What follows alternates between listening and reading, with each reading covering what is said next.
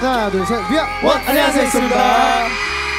네 저희가 12월의 기적으로 돌아왔습니다 아, 어 디오 씨, 네. 12월의 기적이 있다면 음, 어떤 게 있을까요? 제 생각엔 인기가요에서 엑소 완전체를 보는 거요. 아, 아. 진짜 그 기적 꼭 일어났으면 좋겠습니다. 네, 그리고 곧 크리스마스인데 네. 백현 씨가 시청자분들께 선물 하나만 해주세요. 어, 좋은데요?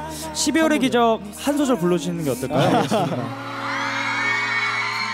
네 사랑은 이렇게 계속 날 움직여. 와. 아, 네 저희 무대는 잠시 후에 만나보시고요. 네, 먼저 A-JAX부터 만나보실게요. Music music. Start